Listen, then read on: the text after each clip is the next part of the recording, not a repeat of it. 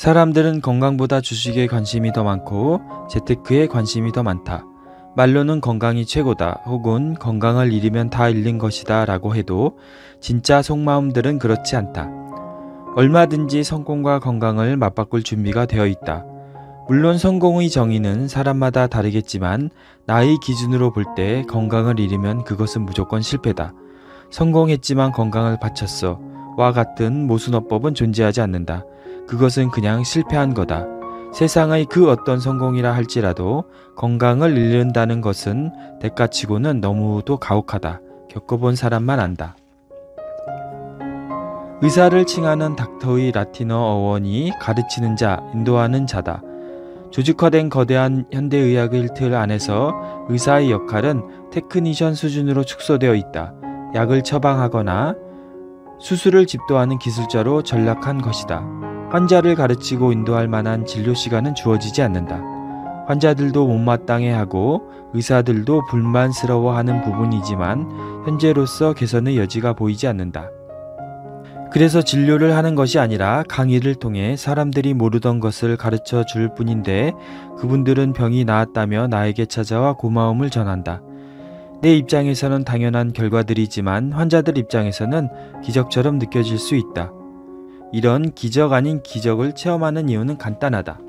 현대인들의 질병 대부분이 음식을 비롯한 환경이 가장 큰 원인이기 때문이다. 당뇨, 고혈압, 고콜레스테롤 혈증, 암은 물론 우울증이나 골다공증, 관절염조차 예외가 없다. 운이 없어 세균이나 바이러스에 감염되는 것이 아니다. 또 유전이기 때문에 꼼짝없이 당해야만 하는 운명의 장난도 아니다. 그 말은 현대의학의 적극적이고도 강력한 군대식 대응을 필요로 하지 않는다는 것이다. 이런 적극적인 치료가 오히려 몸을 더 망가뜨리는 경우가 많다. 결국 병을 일으키는 것도 병을 고치는 것도 음식과 환경이기 때문에 우리 몸이 정상적인 기능을 하기 위해 꼭 필요로 하는 영양소와 환경을 제공해주고 의사는 뒤로 빠져주는 것이 오히려 도움이 되는 경우가 많다. 하지만 다양한 이유로 현대의학은 지금 같은 방식의 적극적인 개입을 거두려 하지 않고 환자들 역시 지금까지 병을 키워왔던 것처럼 아무것도 바꾸지 않고 계속해서 아무 음식이나 막 먹고 살면서 병을 고치는 것은 병원에서 의사들이 할 일이라는 그릇된 사고방식을 가지고 있다. 최첨단 의료기술이 인류를 구원할 신약 개발이 과학이 테크놀로지가 답을 갖고 있을 거라는 확신에 찬 환상에 빠져 있는 것이다. 돈은 남에게 맡기면 안 된다는 것을 잘 알면서 막상 더 중요한 건강은 잘도 맡기는 것이 현대인의 모순된 모습이다. 응급처치와 성형이 아닌 이상 현대인은 질환 중 대부분을 차지하는 성인병 치료 성공의 열쇠는 어디까지나 환자 자신에게 달려 있다. 본인의 질병에 대한 환자 스스로의 관심, 환자의 지식, 환자의 의지, 환자의 자신감이 치료의 시작이다. 환자가 주체가 되어 중심에 서지 않으면 그 어떤 병도 고칠 수 없다. 의사들은 그저 관리만 해줄 뿐이다. 조한경 안녕하세요. 세상의 모든 책들입니다. 이번 시간에 리뷰할 책은 조한경 님이 지으신 환자혁명입니다. 조한경 님의 양력을 간단히 살펴보면요. 서울에서 태어나 중학교 때 가족과 함께 미국으로 이민을 간 그는 남가주 대학을 졸업하고 2000년 카이로프랙틱 척추신경 전문의 자격증을 취득했다고 합니다. 현재 미국 캘리포니아 오렌지 카운티에 위치한 진료실에서 열정적으로 환자들을 돌보고 있다고 합니다. 제가 그 올 초에 그 건강검진을 받고 이 결과를 받아봤는데요. 고지혈증, 만성위염, 헤리코박터균 보건으로 그 약 치료가 필요하다고 결과가 나왔고요. 고혈압, 위험, 당뇨는 그 주의가 필요하다고 그렇게 나왔더라고요. 그리고 비만이기 때문에 살을 빼야 된다고 나와가지고 야 완전히 총체적으로 난국이다 그렇게 생각을 하고요. 살을 아무래도 빼고 그 식이 조절을 해야 되겠다고 그렇게 생각을 했거든요. 그래서 유튜브를 찾아봤는데 좀 이렇게 단편 단편적으로 설명을 해주는 것들이 많아가지고 아, 무래도 이 김에 전체적으로 어떻게 건강을 회복하고 그 다음에 과연 이 질병들의 원인이 뭐고 해결책이 뭔가를 어, 책을 통해서 한번 알아봐야겠다고 생각을 했습니다. 그래가지고 어, 책을 뒤져보니까 어, 이 책이 스테디셀러로 오랜 시간 동안 사랑을 받고 있더라고요. 그래서 아, 이 책을 읽으면은 어, 많은 도움을 얻을 수 있겠구나 그렇게 생각을 해서 읽게 되었고요. 어, 실제로 이 책을 읽으면서 많은 도움을 얻었고 이 책에 나온 방법대로 한번 실행을 해서 건강을 한번 회복해 보려고 이렇게 실천을 하고 있는 중이거든요. 그래서 이 책의 목차를 간단히 살펴보면요. 첫 번째는 현대의학 진단, 2장에서는 현대과학 진단, 3장은 현대사회 진단, 4장은 건강을 결정짓는 다섯 가지 요소, 제5장은 2차 소견, 제6장은 환자혁명 이렇게 6장으로 구성이 되어 있고요. 제가 이번 시간에 살펴볼 것은 제4장 건강을 결정짓는 다섯 가지 요소입니다. 그리고 제5장 2차 소견에서는 당뇨병, 고혈압, 콜레스테롤, 심장마비 등에 대해서 원인이 무엇이고 완치를 하기 위해서 어떻게 우리가 행동을 해야 되느냐를 자세히 설명해 주고 있고요. 환자 혁명에서도 뭐 비만, 암, 그 다음에 전염성 질환, 감기 그런 거에 대해서 설명을 해주시고 계십니다. 제가 건강에 관련된 책은 처음 읽어보는데 이 책이 정말 도움이 많이 되는 것 같더라고요. 근데 이 책이 정말 좋은 책인지는 아직 확신이 안 서기 때문에 어, 다른 건강책도 여러 개 읽어 볼 예정입니다. 그래서 여러분들도 제가 보기에는 만성 질환을 가지고 계신 분들이나 건강에 관심을 가지고 계신 분들은 이 책을 꼭 한번 읽도록 그 추천드리겠습니다. 아 그래서 제가 지금 일단 탄수화물 식단을 줄이고 야채를 많이 먹고 먹는 양도 되게 줄이고 있거든요. 그래서 제가 지금 몸무게가 82kg인데 건강진단 걸교화에는 70kg까지 빼야 된다고 했는데 일단은 올해까지는 제가 목표가 72kg까지 빼는 게 목표입니다. 그래서 제가 건강책을 리뷰하게 될 때마다 저의 이 건강 상태 그러니까 그리고 몸무게 상태도 말씀을 드릴 테니까 한번 지켜봐 주시기 바랍니다. 자, 그러면 4장 건강을 결정짓는 다섯 가지 요소에 대해서 살펴보겠습니다. 이 장에 나온 내용만으로도 저는 많은 도움을 얻었거든요. 그렇기 때문에 끝까지 시청하셔가지고 좋은 정보 가져가시기 바라겠습니다. 제4장 건강을 결정짓는 다섯 가지 요소 1. 영양 가공식품이 아닌 진짜 음식을 먹어라. 환자들로부터 흔히 듣는 질문이 있다. 비타민을 많이 먹어도 괜찮나요? 비타민도 약 아니냐는 것이다. 하지만 의약품과 보충제는 한 가지 기본적인 차이가 있다. 대부분의 의약품은 차단제 혹은 억제제다. 우리 몸의 정상적인 대사를 가로막아 약물이 원하는 효과를 내도록 하는 물질이다. 반면 대부분의 비타민이나 미네랄 영양소들은 촉진제다. 촉진제와 차단제의 가장 큰 차이점은 안전성이다. 비타민과 미네랄 같은 영양소들은 처방약에 비해 안전폭이 크다. 비타민과 미네랄을 바라보는 시각은 다양할 수 있겠지만 하나만큼은 확실하다. 영양소가 결핍된 상태에서는 건강을 기대할 수 없다는 것이다. 몸의 회복을 기대할 수 없다. 당뇨나 고혈압이 개선될 리 없다. 채소를 통해 자연스럽게 성취하느냐, 보충제를 복용하느냐는 다음 문제다. 비타민보다는 식사. 내가 강조하는 비타민, 미네랄, 영양소들은 비타민 제품이나 건강보조식품을 의미하는 것이 아니다. 음식에 들어있는 영양소들의 중요성을 강요한 것인데 영양소를 잘 챙겨 먹으라는 말을 영양보조제를 사 먹으라는 뜻으로 이해하는 경우가 있다. 많은 사람들이 오해하는 부분이지만 어떤 경우에도 영양제가 진짜 음식을 통한 영양소를 대체할 순 없다. 그래서 가공식품을 먹지 말고 진짜 음식을 드시라고 당부하는 것이다. 영양제도 가공식품이기 때문에 진짜 음식을 먹는 것과 비교할 바 못된다. 영양보조제는 게으른 사람들이나 바쁜 현대인들이 차선책일 뿐이다. 그러니 제대로 된 식사를 하는 것의 중요성은 아무리 강조해도 지나치지 않다. 매일 입을 통해 몸속에 집어넣는 음식의 힘을 존중한다면 아무거나 함부로 먹을 순 없을 것이다.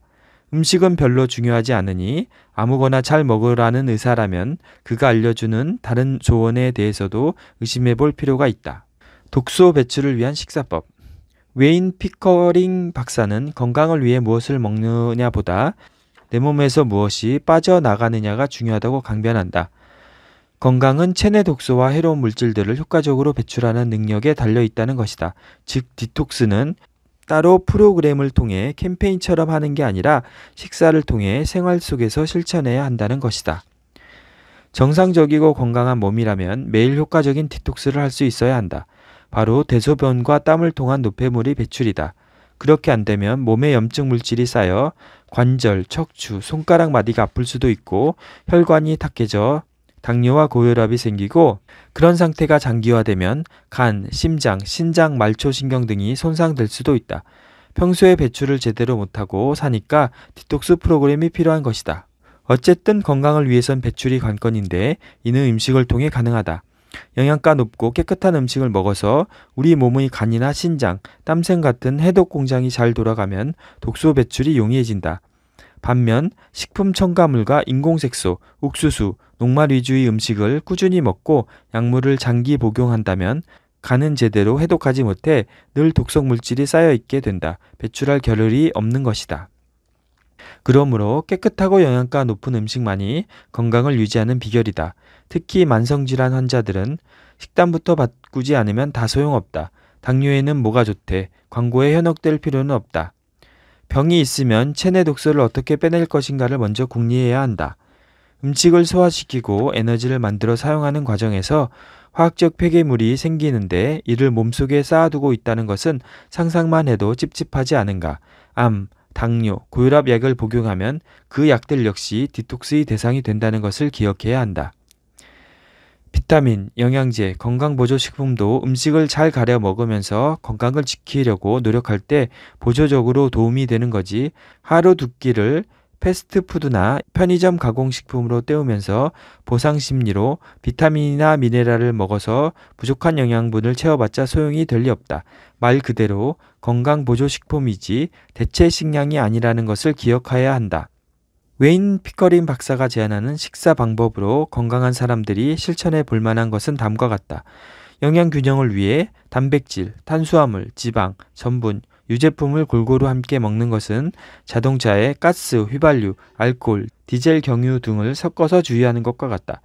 되도록 한 끼에 단백질과 전분을 함께 먹지 않아야 한다. 서로 중화작용을 해서 소화를 방해한다. 고기는 산성이고 전분은 알칼리성이다. 단백질은 부패하고 전분은 발효된다. 그 결과 소화관 안에 박테리아가 증식한다. 소화불량, 가스, 방귀, 변비, 역류성 식도염을 일으키기도 한다. 전분을 먹었을 때는 2시간 후에 단백질을 섭취하는 것이 좋다. 단백질은 소화 시간이 더 걸리기 때문에 단백질을 먼저 먹었을 경우 3시간 후에 전분을 먹는 것이 좋다. 또 아침, 점심, 저녁 골고루 먹는 것이 아니라 각기 다른 음식을 먹는 것이 좋다. 예를 들어 아침에는 과일 같은 가볍고 단순한 음식을 먹고 점심에는 아침 식사보다는 복잡한 음식을 먹되 양은 아침 식사보다 적어야 한다. 복잡한 음식이라 함은 전분과 탄수화물로서 한국인들이 주식인 밥이 여기에 해당된다. 저녁 식사로는 고기나 생선 같은 단백질 위주의 소화 과정이 다소 복잡한 음식을 먹되 양은 가장 적게 먹을 것을 권하고 있다.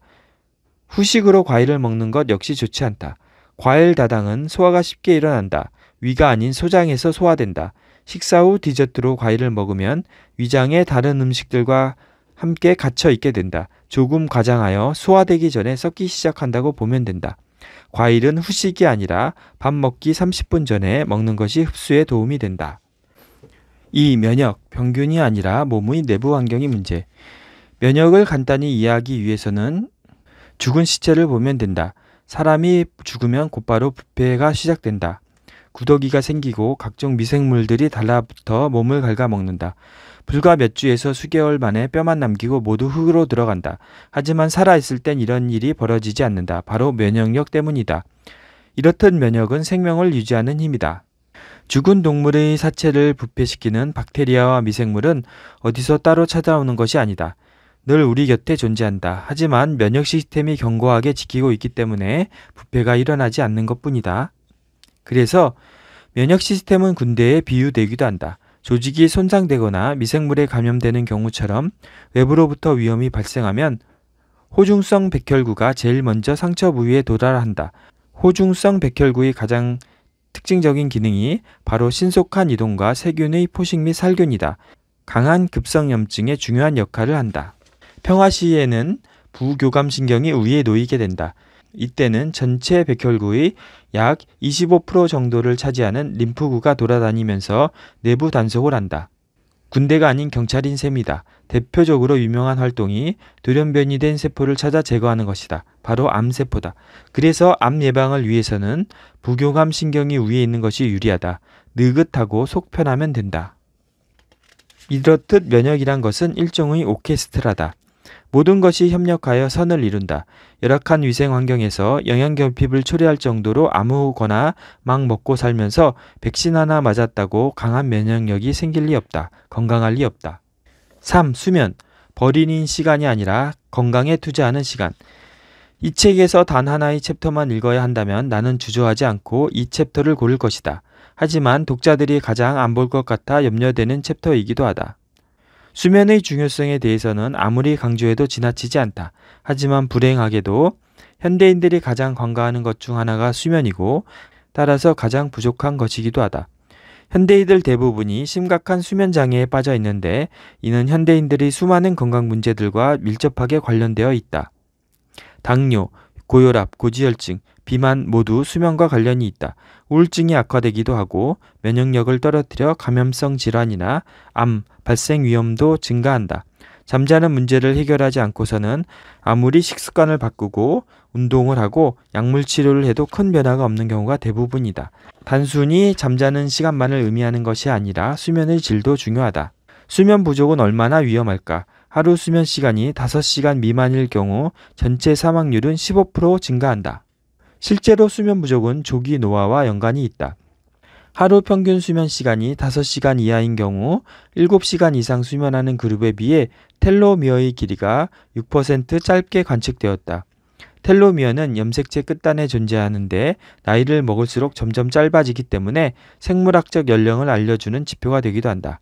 스트레스, 근심, 우울증 모두 만성적인 불면증 증상 중 하나다. 스트레스가 생화학적 반응을 일으켜 수면 부족을 유발하고 반대로 수면 부족은 스트레스를 증가시키니 악순환의 고리에 빠지는 것이다. 이처럼 잠자는 일을 하찮게 여기면 안 된다. 잠자는 시간을 아까워하면 안 된다.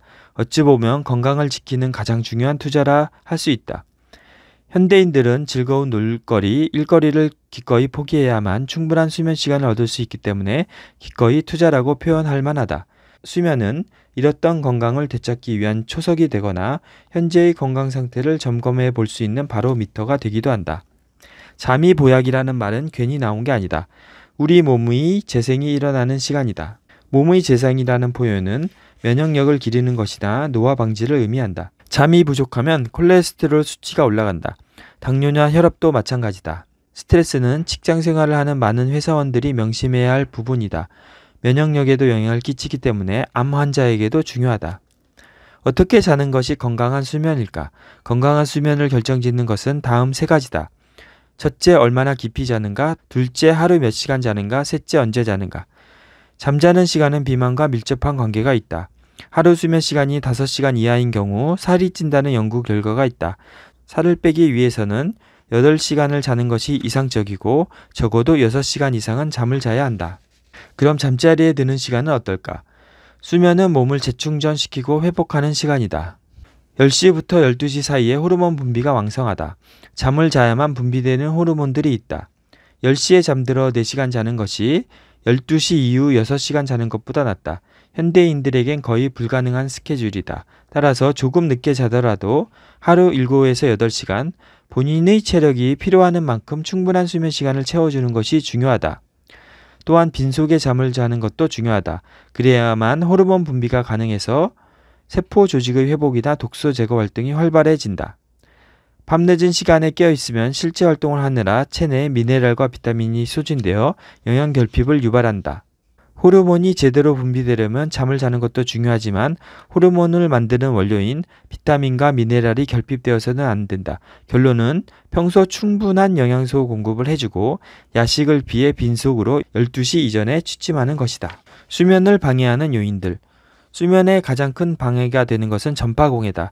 그리고 SNS도 한몫한다. 중독성이 있기 때문에 그 습관을 끊지 못하면 수면 장애로 연결될 수밖에 없다. 잠자리에 들기 한두 시간 전은 핸드폰이나 태블릿을 내려놓고 종이로 된 인쇄물을 읽을 것을 추천한다. 잠자는 동안 낮은 조명에 노출되는 것만으로도 낮 시간 동안 뇌 기능과 컨디션이 영향을 받는다. 그래서 깜깜한 상태에서 잠을 자는 것이 중요하다고 합니다. 4. 스트레스. 죽기 아니면 까무러치듯 웃기. 스트레스가 신체적 증상에 실체적 영향을 준다. 죽음도 아니고 아주 많이 영향을 준다. 거의 몸을 지배하는 수준이라고 해도 과언이 아니다. 만성적인 스트레스는 단순한 행복감과 같은 감정이나 심리적인 문제를 넘어서 육체적인 문제를 일으키기 때문에 절대 간과해서는 안 된다. 면역력을 떨어뜨려 감염이나 암 발병 위험을 높이기도 하고 이상 콜레스테롤 혈증이나 당뇨, 고혈압과 같은 만성 질환의 원인이 되기도 한다. 가장 안타까운 것은 심장마비나 뇌졸중과 같은 급성 사망 사고를 일으키기도 한다는 것이다. 또 불면증을 야기하고 살을 찌우기도 한다. 스트레스를 해결하지 않고 살을 빼는 것은 거의 불가능하다. 호르몬 분비가 엉망이 되기 때문이다. 이렇듯 스트레스는 심리적인 문제에 머무르지 않는다. 아무리 건강한 음식을 챙겨 먹고 노력을 기울여도 스트레스가 많다면 건강 상태를 개선하기가 쉽지 않다. 정신 실체증이 실제하기 때문이다. 정신 신체증이란 심리적인 문제로 인해 신체적 증상이 일어나는 현상을 의미한다. 또는 마음의 괴로움과 스트레스를 표현하지 못할 때 병이 생기는 현상을 의미한다. 간단히 예를 들면 기분 나쁜 상태에서 음식을 먹고 체하는 것이 여기에 해당된다. 혹은 나에게 잘못된 누군가를 수년간 미워하고 그 생각을 감박적으로 되풀이하면서 용서하지 못하면 정신적 신체증으로 암에 걸릴 확률이 높아진다. 모든 정신신체증이 증병으로 연결되는 것은 아니지만 크고 작은 정신신체증이 우리 삶 가운데 차지하는 비중은 상당하다. 스트레스 때문에 살을 못 빼고 스트레스 때문에 콜레스테롤이 올라가고 스트레스 때문에 피부에 문제가 생기는 것은 부정할 수 없는 사실이다. 심근경색의 원인이 실제로 관생동막이 막히는 경우도 있지만 극도의 스트레스를 받으면 체내의 마그네슘이 소진되는데 일반 근육보다 20배 이상 마그네슘을 필요로 하는 심장 근육이 정상적인 박동을 하지 못하고 부정맥과 심박동 정지를 일으켜 사망에 이를 수 있다. 마그네슘 결핍이 신장마비 위협을 증가시키는데 직접적인 원인은 스트레스가 될 수 있는 것이다. 스트레스는 종류도 다양하고 강도도 다르기 때문에 스트레스에도 순위가 있다. 현대인들에겐 어떤 스트레스가 가장 클까? 사람들이 어떨 때 가장 스트레스를 받을까? 스트레스 지수를 개발했다고 하는데요. 1위에서 2위까지는 다음과 같다고 합니다. 1위 자식 사망, 2위 배우자 사망, 3위 부모 사망, 4위 이혼, 5위 형제 자매 사망, 6위 배우자의 외도, 7위 별거 후 재결합, 8위 부모 이혼 재혼, 9위 별거, 10위 해고 파면, 11위 정든 친구의 사망, 12위 결혼, 놀랍게도 배우자와의 이혼이나 배우자와의 외도가 죽음과도 같은 수준의 스트레스에 해당된다. 흥미로운 점은 상위 12위에 있는 모든 스트레스가 인간관계와 관련된 것이고 1위부터 6위까지는 헤어지는 것 혹은 관계의 단절이다. 죽음도 결국은 헤어지는 것이기 때문이다. 그러므로 사랑하는 사람과의 관계에 손상이 가는 것이 인간에게는 가장 큰 스트레스다. 관계의 단절은 사람을 죽게 만들고 병들게 만든다. 다른 순위를 좀 더 살펴보면 직장에서 해고 당하는 스트레스가 12, 돈과 관련된 문제는 10위권 밖이고 학업과 관련된 스트레스는 30위에 머물고 있다. 물론 개인차가 있을 것이고 절대적인 데이터라 할 수도 없겠지만 어느 정도 수긍이 간다. 돈을 쫓으며 살고 있지만 어찌 보면 우리가 정말 원하는 것은 돈이 아니다. 행복하길 원하는데 돈이 행복을 보장해 줄 거라는 믿음이 있을 뿐이다. 많은 경우 돈이 해결 수단이 될 수 있다고 믿을 뿐이다. 하지만 나는 감히 헛된 믿음이라 말하고 싶다. 헛된 것을 믿고 있기 때문에 스트레스만 가중된다. 행복하길 원한다면 부유나 가난에 상관없이 행복할 수 있는 능력을 갖추는 것이 옳다. 진정한 행복은 환경에 의존하지 않기 때문이다. 대학 입학이나 취업은 답이 아닐 가능성이 크다. 스트레스를 낮춰주는 음식과 영양소론 시금치나 배추 같은 녹색 채소가 있다. 오메가3가 들어있는 연어나 견과류도 도움이 된다.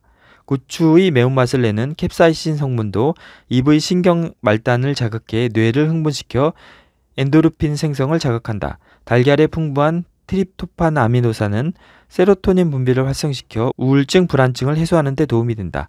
비타민 C는 아드레날린 분비를 촉진시켜 스트레스를 풀어주고 비타민 D와 마그네슘은 스트레스에 민감하게 반응하는 코르티솔의 분비를 억제한다.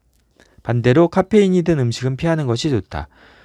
스트레스가 많은 상태에서 카페인을 지속적으로 섭취할 경우 우리 몸이 더 피곤함을 느낄 수 있다. 그리고 스트레스를 낮추는 데는 웃음이 명항이다. 놀라운 것은 억지 웃음도 충분한 효과를 나타낸다는 사실이다. 운동도 스트레스 해소에 상당한 효과가 있고 노래는 듣는 것과 부르는 것 모두 해당되며 명상이나 기도 역시 도움이 된다. 타고난 성격이 예민하거나 스트레스를 많이 받는 환경에 놓여 있더라 하더라도 나름의 방법을 통해 마음가짐을 바꾸는 훈련을 꾸준히 해야 한다. 성격이라면 바꿔야 하고 환경이라면 달관해야 한다. 스트레스는 결코 쌓아둘 성질의 것이 못 된다. 삶과 죽음의 문제이기 때문에 건강을 주관하기 때문에 그렇다. 환경오염. 질병이 증가하는 분명한 이유. 암 발병률이 출산율을 앞질렀다. 전에는 구경도 못했던 아이들 아토피가 등장했고 알레르기도 급증했다. 이런 변화를 설명할 수 원인은 세 가지 중 하나다. 첫째 유전자가 급변했다. 둘째 병원균이 돌연변이를 일으켰다. 셋째 환경이 급변했다. 첫 번째, 둘째는 가능성이 희박하고요. 반면 환경이 급변했을 가능성이 매우 높다고 합니다. 환경 문제가 심각하다. 미세먼지가 기승이다.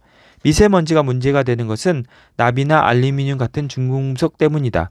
중금속은 뇌신경을 공격하고 뇌의 염증을 유발한다. 더구나 체외 배출도 어렵다. 유전자 조작 작물 GMO의 경우 제초제를 더 많이 사용한다. 우리나라는 GMO 규제가 일본이나 유럽에 비해 느슨하다. 또 모유나 분유를 통해 MSG의 주 성분인 글루탐산을 섭취하게 되는데 망간이 부족한 아동은 글루탐산이 뇌에 유해 작용을 할 수 있다. 미세먼지가 범벅이 된 길거리 음식도 상황을 악화시킨다. 모두 뇌의 염증을 유발할 수 있는 것들이다. 신경학적으로 다시 보는 MSG. 최근에 MSG가 유해하지 않다는 연구 결과가 났는데 절대 그렇지 않다고 합니다. MSG를 과다 섭취하면 당뇨, 간염, 천식, 소화장애, 과민성 대장염, 불림, 그리고 암을 유발하는 것으로 알려져 있다. 실제로 암세포에서 수많은 글루탐산 수용체가 발견된다. MSG의 구루탐산은 비만 증가의 원인이 되기도 한다. 노인들에게는 퇴행성 신경질환을 유발한다. 그렇다면 우리 몸을 어떻게 보호해야 할까? 바로 음식이 답이다. 글루탐산 섭취를 줄이는 것은 기본이다. 꼭 식품 첨가물 MSG가 아니라 일반 음식 중에도 염증 반응을 일으키는 음식들이 있다. 대표적으로는 붉은 육류. 붉은 육류에는 글루탐산 성분뿐 아니라 철분도 많은데 이는 체내 염증 반응을 증가시킨다. 두유나 두부를 비롯한 대두 제품 역시 글루탐산 함유량이 높다. 버섯과 토마토에도 글루탐산이 많이 들어있는데 토마토를 끓여 먹는 토마토 소스에 더 많다. MSG를 먹으면서 편두통은 절대 못 고친다. 또한 체중 감량이나 비만 치료도 불가능하다. 조용한 살인자 프탈레이트 환경 호르몬. 프탈레이트는 플라스틱을 말랑말랑하고 유연하게 가공하는데 가소제로 사용된다. 프탈레이트가 살을 찌우는 이유는 독성 화학 물질이 지방에 저장되기 때문이다. 프탈레이트는 다른 어떤 화학 물질보다 인체 오염률이 가장 높다. 프탈레이트는 음식 첨가물이 아니라 포장 재질에서 온다. 플라스틱 물병, 플라스틱 젖병, 음료수 캔, 음, 식품 포장지, 그리고 플라스틱 용기를 제조하는데 프탈레이트가 사용된다. 가장 심각한 것은 스티로폼 컵이다. 거기에 뜨거운 물을 부어 커피를 타 마시는 것은 최악이다. 컵라면도 마찬가지다. 여기에 좋은 음식은 십자화가 식물이 프탈레이트 배출에 도움이 된다. 브로콜리, 콜리플라워, 케일, 복초이, 방울 양배추, 양배추 등이 이에 해당된다. 식품 첨가물을 대하는 자세. 나를 찾는 환자들은 예외 없이 식품 첨가물과 이별을 구한다. 가공식품 자체를 그만이 식품 첨가물을 멀리할 수밖에 없다. 나를 찾아오는 환자들은 해결해야 할 문제가 있어서 찾아오는 사람들이다. 살을 빼야 하든 혈당을 낮춰야 하든 또는 혈압을 낮춰야 하든 분명한 치료 목적이 있다. 간단히 약물로 해결할 수 있는 것이 아니다. 결핍된 것들을 채워주고 방해되는 요소들을 제거함으로써 몸이 재기능을 할 수 있도록 도와주는 방법으로 치료한다. 그때 식품 첨가물들이 방해 요소로 작용하니 멀리하라고 알려주는 것뿐이다. 식품 성분 표시의 원료명을 봤을 때 발음이 어렵거나 읽어도 뭔지 잘 모르는 것들은 되도록 피하는 게 원칙이다. 식품 성분 표시를 들여볼 필요가 없이 한눈에 봐도 알아볼 수 있는 사과, 바나나, 아보카도 등과 같은 자연 그대로의 식품을 선호한다. 이렇게 건강을 결정짓는 다섯 가지 요소에 대해서 살펴봤습니다. 와, 이 중에서 제가 가장 쇼킹한 것은 어, 잠이 살을 빼는데 그리고 건강을 회복하는데 너무 중요하다는 것에 충격을 받았고요. 왜 그러면 저는 어, 잠을 드는 습관이 되게 이상하게 변해가지고 거의 새벽 2시에서 4시에 자고 그 다음에 9시에서 그 11시 사이에 보통 일어나거든요. 저는 재택근무를 하고 시간을 어, 자유스럽게 조절할 수 있는 어, 직업을 갖고 있기 때문에 그렇게 생활을 하고 있는데 아 저는 항상 생각하는 게 이 잠자는 시간을 아껴서 이그 다른 일을 하거나 자기 개발을 해야 된다는 생각을 되게 강하게 가지고 있었는데 잠을 충분히 자는 게 어, 다이어트에도 도움이 되고 면역에도 도움이 되고 그다음 뭐 세포 같은 거를 재생성하는 데도 도움이 된다고 하는 것에 되게 충격을 받았습니다. 어, 그래서 어떻게 이 잠자는 시간을 옮겨야 될까 이렇게 생각을 하고 있고요. 여기에 나온 이 다섯 가지만 정말 잘 지켜도 건강을 회복하는데 그리고 건강을 유지하는데 너무나 많은 도움이 될 것 같아가지고 이 장을 읽고 많은 그 도움을 얻었거든요. 그래서 앞으로 일단은 그 과자, 뭐 햄버거 그런 가공된 육류 제품을 정말 멀리하려고 노력을 하고 있고 제가 한 달간 좀 이런 식으로 그 생활을 했거든요. 아침에 야채를 먹고 과자나 그다음에 제가 가장 좋아하는 햄버거 그다음에 그 햄, 스팸 같은 거를 좀 멀리 했는데 지금까지 한 결과로 한 달 동안에 82에서 81kg으로 줄었거든요. 제 몸무게는 거의 준 적이 한 뭐 몇십 년 동안 없었는데 이렇게 하니까 한 달 지나서 어느 1kg 정도가 줄더라고요. 그래서 이번 시간에는 어 제가 이 건강에 관한 그리고 제 몸에 관한에서는 거의 뭐 문외한에 가깝기 때문에 어 책을 어 읽어주는 형식으로 이렇게 영상을 찍게 되었습니다.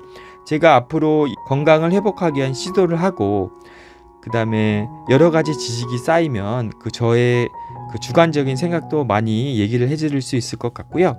이번 시간은 이렇게 어, 리뷰를 마치도록 하겠습니다. 어, 다음 시간에는 제가 당뇨병, 고혈압, 콜레스테롤, 연류성 식도염 그리고 비만을 어떻게 완치할 수 있는지를 어, 살펴볼 거고요. 그 다음에 이러한 질병의 원인이 무엇인지도 여기 자세히 설명을 해주고 계시거든요.